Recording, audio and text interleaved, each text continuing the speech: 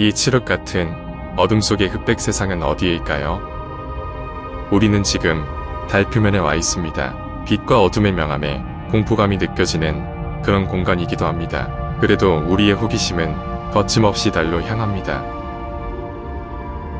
달, 달은 유일한 곳입니다. 인류가 발자국을 디딘 유일한 지구 밖 세상입니다. 인류는 알고 있습니다. 우주는 끝을 찾을 수 없을 정도로 넓고 우주가 팽창하고 있다는 사실을 말입니다. 각종 시뮬레이션과 영상으로 구현된 우주는 우리에게 경이로움과 절망감을 동시에 선사하고 있습니다. 그러나 결국 거기까지입니다. 우주의 광활함에 소름 돋을 지언정 안타깝게도 현재로서 인류는 달 밖에는 갈 수 없습니다. 따라서 다른 인류에게 우주 진출에 있어 전 우주에서 가장 중요한 곳이라고 할 수 있겠습니다. 이번 편에서는 달의 실제 모습뿐만 아니라 시뮬레이션상에 구현된 달의 모습도 함께 보여드리겠습니다. 시작 전에 달의 신비한 모습을 잠시 응시해보세요. 컬러가 없는 흑백 세상과도 같은 공간입니다. 칠흑 같은 공간으로 가면 무서움을 느낌과 동시에 소름마저 돋습니다. 그렇기에 때로 더욱 신기하게 보이기도 합니다. 먼저 달은 어떻게 탄생하게 되었을까요? 불과 3개월 전에 나사에서 달 탄생에 관한 새로운 영상을 공개하였습니다. 이전과 다른 새로운 슈퍼컴퓨터로 시뮬레이션 한 것으로 이 영상 하나면 달 탄생에 관한 호기심을 풀고 우리의 상상을 자극하기에 충분합니다. 지구의 달의 기원에 대한 새로운 견해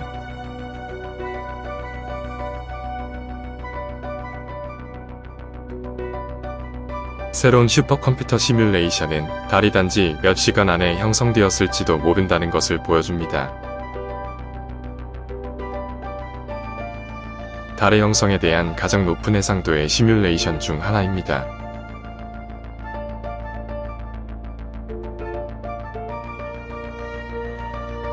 시뮬레이션은 화성 크기의 물체가 우리 행성과 충돌하는 것으로 시작합니다.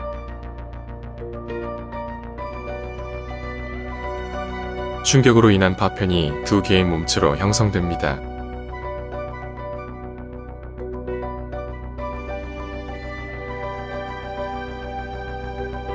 둘 중 작은 것이 달이 될 것입니다.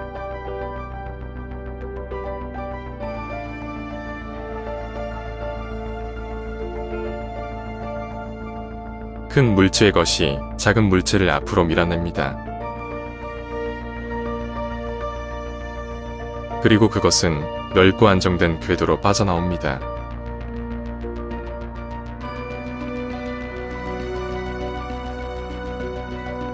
본 시뮬레이션은 달의 탄생에 대한 새로운 가능성을 열어줍니다.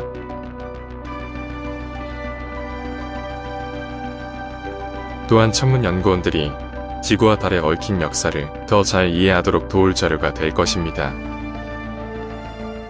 본 시뮬레이션에 관한 논문 공동저자인 더럼대 빈센트 에크 교수는 달이 어떻게 생겨났는지 알수록 지구의 진화에 대한 지식도 늘어날 것이라 말했습니다. 그러면서 지구와 달의 역사는 서로 얽혀 있음을 뜻합니다. 그리고 이는 비슷하거나 다른 충돌로 인해 변화된 다른 행성들에도 반영될 수 있습니다. 라고 말하기도 하였습니다. 이 말은 곧 달, 지구, 태양 탄생의 비밀을 아는 것은 곧 우주의 신비를 풀 실마리가 될 수 있다는 말과 같습니다. 결국 우주는 충돌로 가득 차 있고 이러한 충돌은 행성의 형성과 진화에 필수적입니다. 달과 행성 탄생의 비밀은 현재에도 끊임없는 연구가 진행되고 있습니다. 이 비밀이 밝혀지는 날 우주의 탄생의 비밀에 좀 더 다가갈 수 있을까요? 우리가 아는 달의 표면은 거뭇거뭇한 부분이 무수히 많습니다. 이 부분들은 왜 생겨났을까요? 이에 대한 궁금증과 호기심을 풀고 우리의 상상을 자극하기에 충분한 영상이 있습니다. 해마다 달의 크레이터 분화구는 절대 변화하지 않는 것처럼 보이고 이 형태들은 이제 영구적인 것처럼 보입니다. 그러나 달이 항상 이런 모습은 아니었습니다. 나사의 달 정찰 위성 덕에 우리는 달의 표면을 관찰할 수 있고 이를 바탕으로 달의 역사를 더 잘 볼 수 있습니다. 달은 약 45억 년 전의 지구에 충돌한 잔해에서 형성된 거대한 마그마 구체로부터 시작했을 가능성이 있습니다. 마그마가 식기 시작하여 마침내 크러스트를 형성합니다. 달 표면 바로 아래에는 마그마가 있습니다. 약 43억 년 전 이곳에 큰 영향을 미칩니다. 달의 남극 위치에 남극 에이트킨을 형성하고 이 충돌은 달의 반대편 멀리까지 파편을 보냅니다. 이 거대한 충돌은 달 표면에 대규모 변화를 일으키게 됩니다. 이후 하나하나 또 다른 거대한 충돌이 달 표면의 모양과 지형을 바꾸고 일부는 매우 큰 지하를 형성하기도 합니다.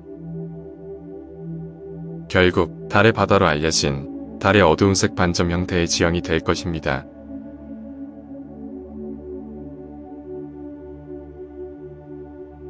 이 반점들은 크레이터에서 시작되었지만 상대적으로 얇은 지각으로 인하여 곧 변화하기 시작했습니다. 달이 아직 완전히 식지 않았기 때문에 충돌로 인한 균열을 통해 내부 용암이 밖으로 빠져나오기 시작했고 그 결과 화산 활동이 일어났습니다. 용암을 분화구 전체에 퍼뜨린 결과로 이어졌고 우주 속에서 서서히 식어갔습니다. 이 부분들은 달의 주변 부보다 더 어둡게 보입니다. 이유는 현무암의 함량의 영향과 약한 빛으로 인한 것입니다. 약 10억 년 전의 달의 화산 활동은 달 표면에 남은 마지막 큰 충돌이 다른 충돌체에 의해 계속 타격을 받으면서 달의 측면 근처에서 끝났습니다. 초기 달의 크레이터를 형성했던 큰 부분의 물체보다는 훨씬 작았지만 최근에 알려진 바로는 달 표면의 가장 최근 가장 큰 영향들 중 일부입니다. 기초 커퍼니커스 독특한 아리스타르쿠스 분화구는 이렇게 형성되었습니다. 이렇게 탄생된 달의 역사와 태양빛의 반사 덕에 드디어 오늘날 우리가 보는 달과 유사한 모습을 갖추었습니다. 그러나 달의 표면은 계속해서 충격의 영향을 받습니다. 하지만 표면 충격의 속도는 점차 느려졌고 달이 자신의 역사에 대한 영구적인 기록과도 같은 변화가 거의 없는 수준에 이르게 되었습니다. 인류가 현재 살펴볼 수 있는 지금의 달처럼 그 모습은 정체되었고 그 변화는 급격히 느려졌습니다.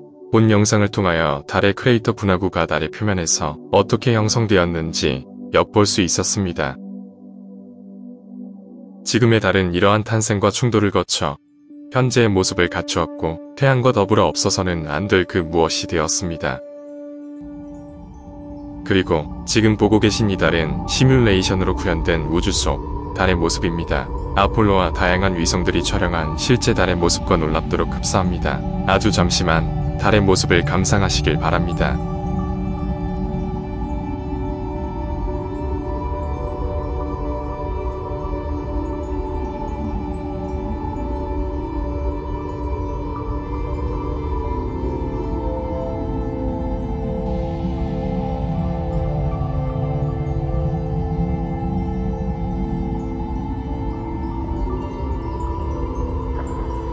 Back up to that first step. Uh, it's uh, that isn't collapsed too far, uh. 지구에서 back 달까지의. 거리는 38만 4,400km입니다. 수치로는 감이 오지 않아도 지구와 달 사이에 약 30개의 지구가 들어간다는 사실만 알아도 가장 가까운 달마저 엄청나게 먼 거리임을 분명히 알 수 있습니다.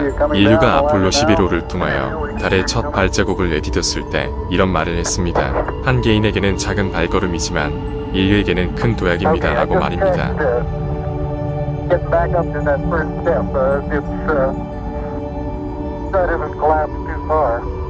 uh, uh.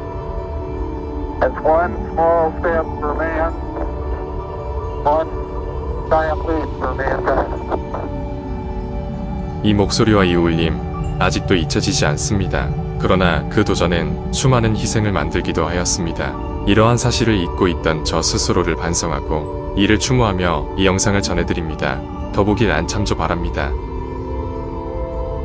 인류의 우주로의 진출을 위한 도전은 절대 쉽지 않음을 다시 한번 상기해봅니다. 초현실 우주 체감은 앞으로도 우주에 대해 흥미롭고 우리가 알아야 할 그런 소재를 찾아 전해드리겠습니다. 영상 재밌게 보셨다면 좋아요와 구독 눌러주시면 큰 힘이 됩니다.